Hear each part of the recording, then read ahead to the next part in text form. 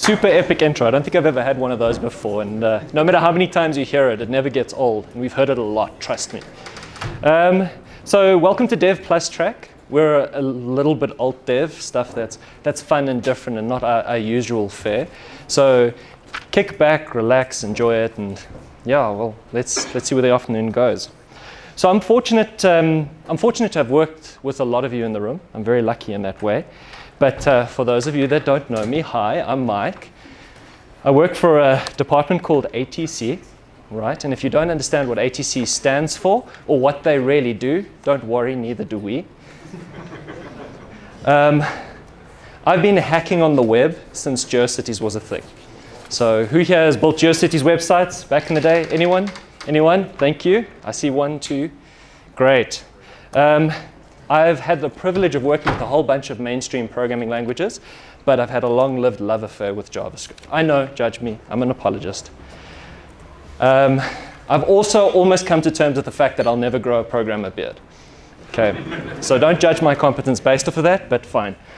Um, I'm a co-organizer for the Jozi.js meetup group. Please feel free to come through, um, listen to it. We've got a whole bunch of cool people talking about cool topics. Um, and more pertinent to this conversation, I've shipped a whole bunch of single page application frameworks to production. Right. No, no, too soon. No. Too soon. You're eating into my time here. Okay, so where are we going to start? What are we going to talk about, right? Let's start with the learning something along the way part first. So we're going to, I'm pretty sure most people here have worked with some measure of request response paradigm before. The entire internet is built off of it. Um, and it's basically the most common messaging pattern that we can use nowadays. And let's look at how it was started, right? Because in the 60s and 70s, we were writing procedural code, which worked really, really well. And we decided we wanted to farm out some of that so we didn't have it all sitting on one machine, right? So we wanted to call the procedure or function on another machine. And so, hey, RPC was called. So we've got this thing where we pass function parameters or, or a request object to a method, and we get something back, except we're doing it over the wire now. Um, this has made its way into imperative programming and imperative programming in the OO sense very, very heavily, and we rely on this to this day. There's a whole bunch of paradigms, uh, HTTP, TCP, IP, uh, REST, SOAP, everything is built on top of this idea. And I'm not trying to say it's old-fashioned, but John Travolta is still trying to figure out what the difference is between Corba and SOAP. Okay, so then moving straight along. We, um, we, we a lot later on, late 80s, early 90s, started introducing um, ideas of streaming processing and processing streams alongside digital signal processing. Um, and this led us to, to looking at our data rather than a whole thing as data over time, continuously. And it led us down a whole bunch of functional paradigms where we needed to, to treat it like we would mathematically. Um, and this, this, this we see a lot in file system inputs, um, audio inputs, external hardware interfacing, large files that we couldn't load up the whole thing at one point in time, or we couldn't serialize the whole message. Um, these things needed to be chunked apart, essentially. Um, and this led to a, a, resurgence in the way that we, we write, um, write code in a functional sense. But writing functional code is really, really, really hard. Okay?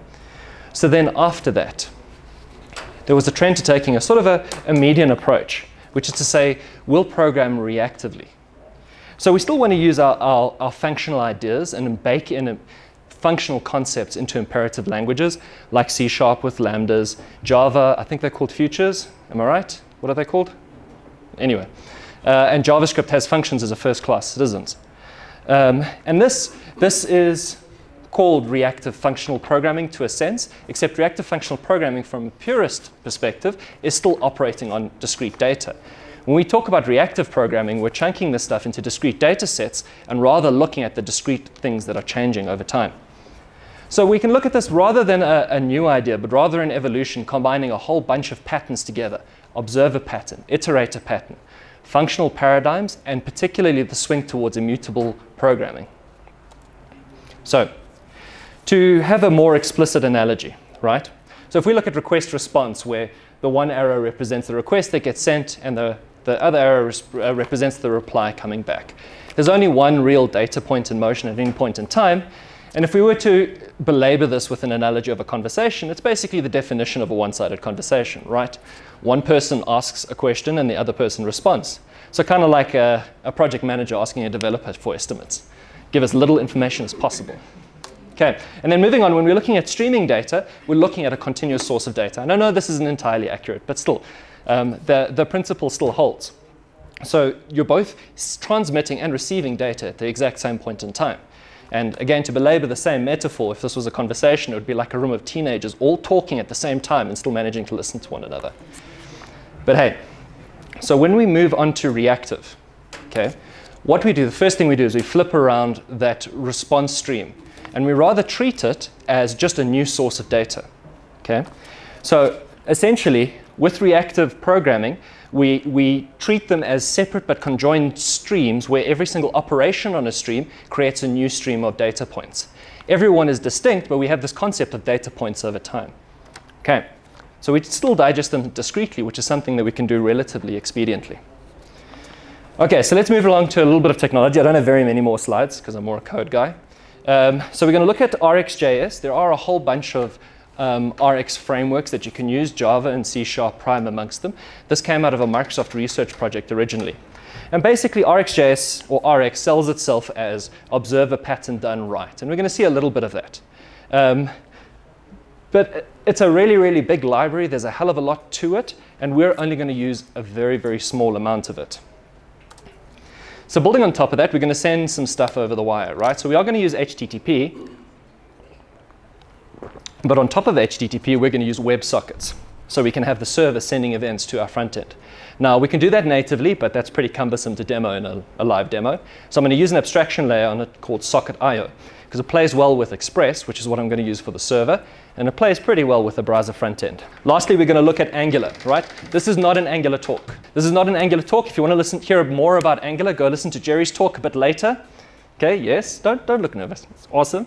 Um, but I am going to show you some bits and pieces. Now, the reason why Angular is because Angular bakes the concept of RxJS into it. It does all of its data binding using RxJS. So it's a first-class citizen, so to speak. We're going to use the Angular CLI from a workflow perspective, so you're going to get some sense of that, and you get some sense that it's pretty powerful to use. Okay, but I'm a, I'm a coding kind of guy, so that's all my slides. So a word of warning, right? This could be awesome, or it could be a hot mess. It's dependent on the Twitter API, which is notoriously uh, uh, unstable and temperamental. It's dependent on the conference Wi-Fi working. Oh, please um, which is notoriously unstable, and it's dependent on you as the audience getting involved, right? So, and you're notoriously unstable. okay, but let, let's move. Let's move straight along. Okay, so minimize that. Let's go. I have scaffolded out two simple parts of this application, a client and a server. And all I've done is I've basically created it because you don't want to spend the next 45 minutes downloading NPM packages okay? And I've baked in a couple styles just so that it looks right and you don't see me typing CSS, which is going to take the rest of the afternoon. So we're going to start off on a simple Express application. Basically, we're just going to be able to initialize um, our Express server, initialize the server. We're going to declare socket IO, and we're basically going to let this stuff listen on port 3000, which you can see on line 5 there. Thereafter, oopsie, always typing on a new keyboard. Hey, Tony wouldn't let me use my own laptop. He wanted to give me a real uh, handicap. Okay, and then what we're going to do is we're just going to use the set interval method. Um, and all set interval is going to do is every 3,000 milliseconds or every three seconds, it's going to call something that's going to basically emit a ping back down the wire to whatever this thing is connected to. All right, so starting up, we're just going to go into our server. Oh, I'm already in the server. npm start. And there our server is started. Okay, awesome. Now, if we take a look at our Angular application, and I'm not going to decompose what it's made of, um, but we'll see some bits and pieces. Um, we can, just using the Angular CLI inside the right directory, can everyone see that fine? Is that fine? Awesome. Okay. If we ng serve here, and ng is just the, the CLI uh, instruction, it uses something called Webpack to build all of the modules, where it does a whole bunch of the, the bundling and transpilation for you. So it's really, really easy. It's basically me being incredibly lazy. because um, anybody that's done it themselves knows that it's really, really tricky to do. Okay, so there, there it's working. We're just basically going to leave that running. Now what I'm going to do is I'm going to create a component that's going to sit inside this Angular application that's going to represent our ping. So I'm going to use the CLI to just go ng generate component to component, and we're going to call it ping creatively. Oopsie, I'm in the wrong directory. That was bound to happen. Okay. So we're going to generate that, and it's going to create a couple of things. It's going to create an HTML file, a TypeScript file, um, and it's going to update the, the app module. I'm not going to take a look at that now. We're going to look a little bit later. But if we go take a look at our TypeScript file to start off with, so ping.component.ts, okay, in here we've got something that looks relatively, wait, let's full screen that. Great. We've got something that looks relatively familiar. Um, it's sort of JavaScript, with a couple extra types, and it's got a, annotations, which is really the big thing that, that TypeScript adds over it. So the first thing that I'm going to do is I'm going to call outside of TypeScript. Um, again, because I'm lazy, I'm going to reference socket or oh, declare let. I'm going to reference an external library called socket.io, which is the client of it. And then inside here, all I'm going to do is I'm going to create a local property called should, should ping, equals false. And we're just going to, whenever we get a ping from the wire, update should ping. Okay. Now in our constructor, we're going to connect to a socket. First, format our code. Make sure it's pretty. We're going to connect to a socket. We're going to respond to an on ping. When we get that ping as a callback, we're going to uh, set the value to true again, so flip-flop it. And then we're going to call a set timeout that after a second is going to set it back to false. It's a little bit clunky code, but this is typically how you then end up writing request response callback streams. On our front end, so ping our component HTML, let's throw this away. Let's ping. We're just going to use an Angular property binding, which says we're going to set the CSS class. We're going to set the CSS class to a class called should ping, and the condition inside these square brackets is the ping property that's on our TypeScript uh, sorry, uh, it's going to set it to the ping class off of the should ping property that's on our TypeScript. Okay, that we're going to update manually. Now the last thing I have to do is I need to add this to the actual app component. So, oopsie, oopsie. Control's not where I expect it. Um, and inside here, we're just going to go app ping. Oh, come now. There we go. No, you know, you practice it and it works when you practice it, but it doesn't work when you're up here. Okay, hopefully that works now. And if we go back to the front end, after a 10 3 second wait, yay, we've got a pinging thingy that's coming back from our server. Now this is basically if the Twitter API tells me to go uh, forget myself, and we've at least seen something. Okay, so not even an ironic applause. You guys are a tough crowd, hey? Damn it. I'm assuming that means that you're paying attention, so I'm just going to roll with it. Okay, so, so this is all awesome, but that's not what we came to see. We want to write better code than this. So the first thing we're going to do is we're going to introduce some parts of reactive extensions. Okay, so for those, we're going to import a behavior subject and debounce as an operator. Okay, now if behavior subject, let me just show you what that is, and then I'll explain it. Ping, oopsie, oopsie. Okay, so behavior subject, we're going to change the type from being a primitive type of Boolean to being a subject that takes a type of Boolean underneath it. Now that's basically a, a specialized type of, of, observable that lets us directly control the value as well as subscribe to the event. So it lets us directly manipulate the thing to create a reactive stream. Little bit faked, but fine. And then inside here, we can change our callback hell code, which would scale really poorly, into something that looks a little bit more like this. So on our socket ping, what we do is we call the next method of our observable, sending through the true value, and then completely separately we say, well, we're also going to observe or subscribe implicitly to that stream with a debounce operator that's going to debounce any changes, and after 1,000 milliseconds, we're going to set it back to false. Okay, now we need to make one more additional change for this, Angular understands the fact that this is now not a primitive type, but it's something that it needs to implicitly subscribe to. Well, it, it doesn't understand that, so we have to queue it in by saying that this thing is going to be async. Okay, so hopefully, hopefully, yes, we get a ping. Yay, it still works. Cool. All right. So that's the first part. Then, um, thereafter, we're basically going to say that this is, we're creating an explicit socket connection and we can't do this in every component in our application. So we're going to abstract the stuff behind a service, right? So I'm going to go back to our CLI and I'm going to ng generate, but I'm going to use the shortcuts now. So I'm going to ng g for generate, s for service, I'm going to call it, call it stream service. Now that's going to do two things. It's going to create our stream service application or service file, and then it's going to complain about us saying that it doesn't know how to provide this thing. Now Angular has dependency injection baked in by default, right? So if we go to our module, which I didn't show you earlier, but I'm going to show you now, we'll see that it, it declares how the stuff inside it needs to be initialized, basically, at runtime. So it doesn't understand the life cycle of our, um, our stream service, which sits over here, which is just marked as an injectable. A component, can figure out how to do it because there's only one way. But the stream service, um, there's, there are options. So in our module, which I've now lost, module, okay, so in our module, basically all I'm going to do is I'm going to import the stream service, import stream service,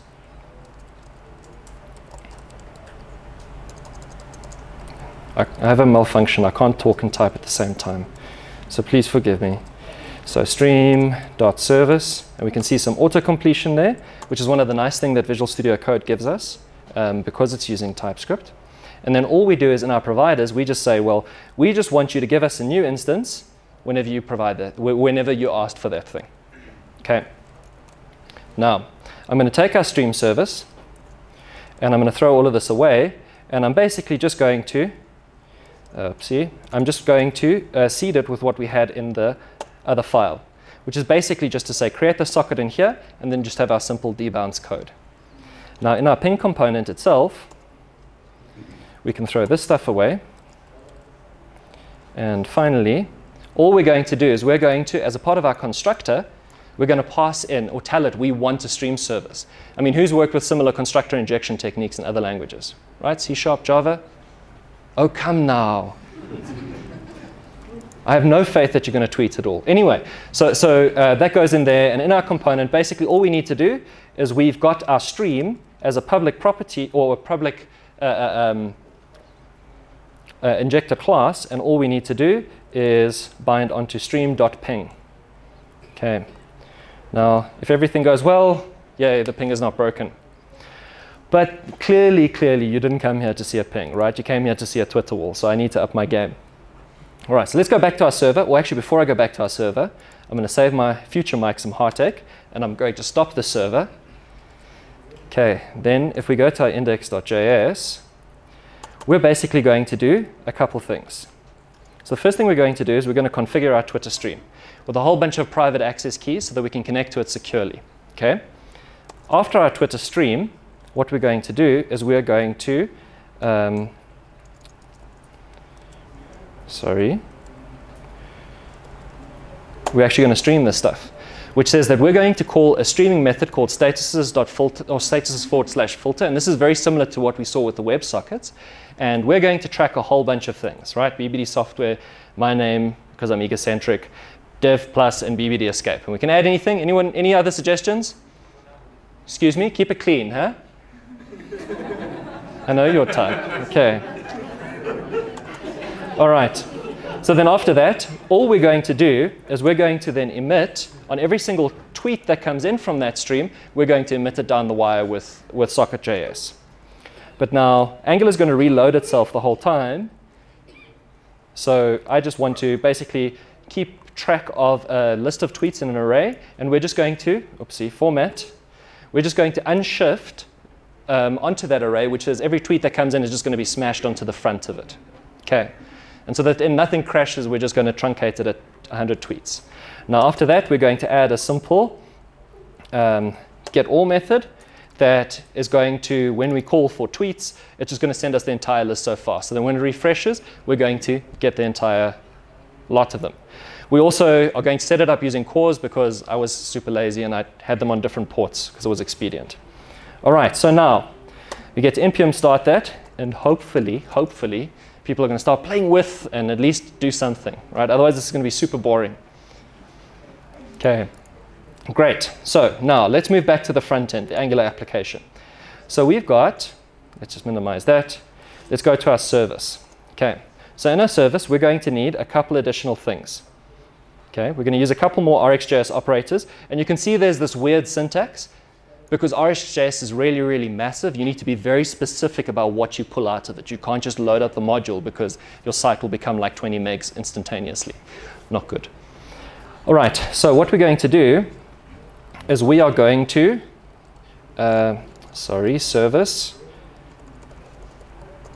We're going to import a couple of things. So we're going to import the HTTP library from Angular. We're going to create an explicit observable rather than a behavior subject eventually. And we're going to import, import another two operators, map and switch map, which I'll get to in a second. Okay. Now, at the end here, uh, and here, we can, that's the right one. Okay, oops, I forgot something. I need to inject HTTP because its lifecycle is also controlled by Angular. Okay, great. Ah, if I can only spell TP, damn. What a way to make a room full of people make you think you're an idiot. Okay, awesome. So you'll see that we've got this HTTP GET that looks very similar to any other GET in any other language, except it's not a promise. That's an RxJS stream. It creates a stream, and as soon as you call .map, it actually triggers it off. So nothing happens until we call map. And map says, cool, I've now got a subscriber that's going to get the response and map the JSON out. Okay, so there is an initial stream. Remember I was saying that Angular has RxJS built in for everything? Well, this is that. Now, the next thing we're going to do after that is we're going to create an explicit observer. Okay, that observer is an emit. Okay, uh, and inside that, we're going to wrap around the functionality that listens to the WebSocket. And we're going to control and explicitly add the next item onto that observer whenever the socket comes in. But now we can treat the emit like a reactive stream. So the simple and easy thing to do would be to just, well, subscribe to the get and then set, oh, I forgot something. All right. So I needed to create a list of tweets. Okay, and that's going to be a new behavior subject, spelled like an American, and it's just going to be an anonymous array to start. Okay. Great.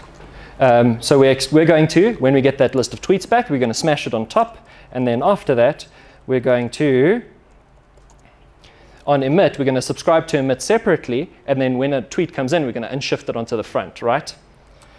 Okay, so we've got those two things. That's all good. Let's just start with that for the moment. Now in our app module, oops, sorry, not in our app module, in our app component, we are going to need to import the stream service again. So at the top here, we're going to import stream service, hopefully I can spell it this time, from stream.service. Yes, thank you very much. I'll take that. Okay, format. And then in here, all we're going to do is we're just going to have a constructor that's going to inject the stream service and pass it through. We're not going to touch it. And then in our app component, component.html, we're going to throw away the stuff that we don't want because that's pointless. Then after that, we're going to, uh, app one, yep. We're going to have a little bit of generated code. So the stuff in an Angular that's got a star in front of it says that I'm going to generate items that follow this little template. Okay. Um, and essentially, what it's going to do is it's going to iterate over the stream of tweets. It's going to get an instance of each tweet off of that array, and then it's going to show that tweet text. Now, this lets us write it in an imperative fashion, but the filter basically says this isn't just a simple array that you can, you can bind over. We're going to listen to an asynchronous stream, and we're going to, when we get something, operate this. Okay, all good. Great. So hopefully, yay! And we've got stuff coming through. There is someone in your shadow. That's creepy. Okay, well, all right. So we got we got two people. Two people. Is this thing on? Three people, four people. Awesome, great. So we've at least got some stuff coming through. Now let's build on that. Okay, so something's working. I'm feeling a lot more comfortable, right? So we're going to we're gonna take every single one of those tweets and we're going to build a component and feed the data into that tweet component. Okay, so we're going to use our, our shortcut, ngg for generate. We're going to generate a component, so with a C, and we're going to call it tweet. Not teat, tweet. This is going to be recorded. You know that, right? I need to watch myself very carefully. Okay, that's going to do the same thing. It's going to create an HTML file, and it's going to create a TypeScript file and update our module. Um, then when we go to our tweet component, okay, we're going to add another annotation here called input. Okay. So now on our input annotation, what that means is that this component, as a completely separate widgety thing on the page, is going to take something as an input. Now, now that item is going to be a tweet. And because I'm old school like that, I'm just going to make it an any type, which is TypeScript shortcut for saying that I don't care about typing, because life's too short for static typing. Okay? Awesome. Okay. All right. Now, when we go to the front end for this, uh, we're going to throw away that stuff. That doesn't matter. I've baked a whole bunch of HTML in before that's um, far too long to type out and basically just renders it and formats the stuff nicely. And then how we're going to use this is actually the interesting part, right? So rather than having a div in our generator, we're going to have it as an app tweet, so a virtual, uh, virtual element okay, HTML element. This is the thing that exists in our application, and all it means is that our ngFor is going to create a new one of these components every single time it comes in.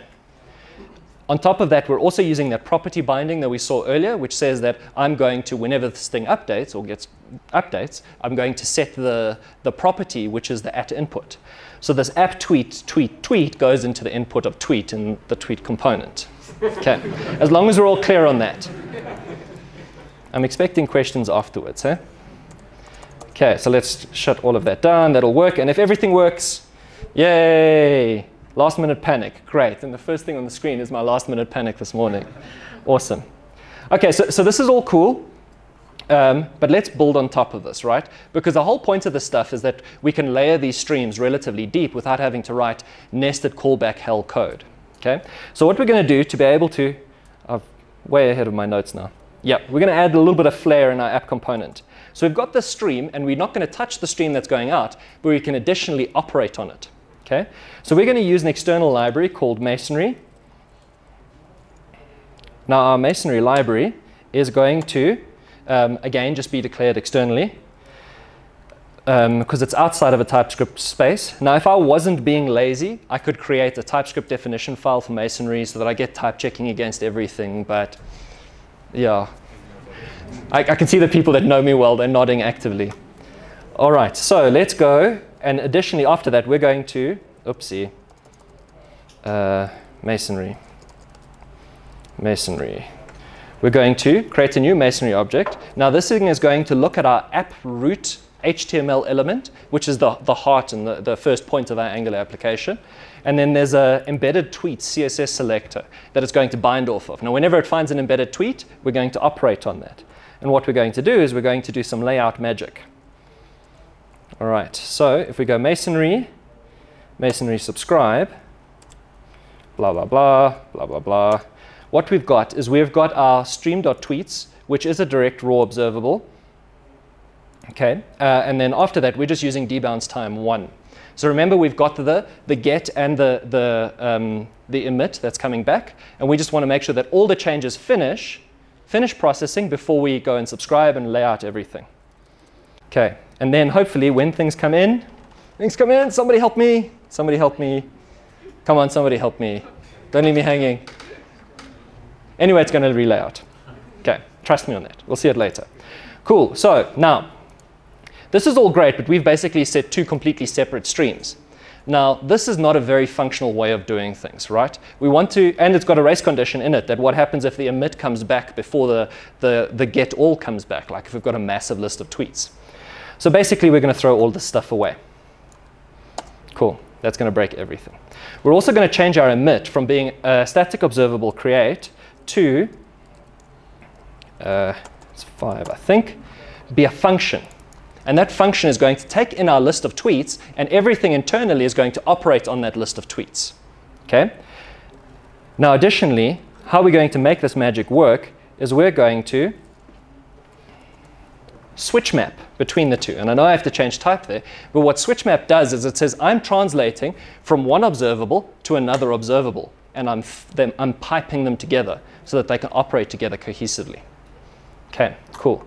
So for this, we're now no longer going to use behavior subjects. We're going to throw all of this typing information away, and we're just going to create an observable, observable, observable. That's recorded forever. You know that, right? Damn. Okay, cool. An observable of type any that's an array. Now, hopefully it still works. Yeah, it still works. Thanks, Katie. Too late, but thank you. Um, cool, so that's, that's all that. That's that code. Uh, and as an aside, for those of you that have seen the Twitter wall outside, it's not running the exact same code. There's a little bit of extra jazz in there, but um, it's, it's basically it. The code's up, up on GitHub, and this is also up on GitHub if you want to check it out later, if you're curious about this. I'm not done. Don't start applauding yet. All right, cool. So demo worked. Thank you, demo gods. So thank you very much, guys. It was lots of fun.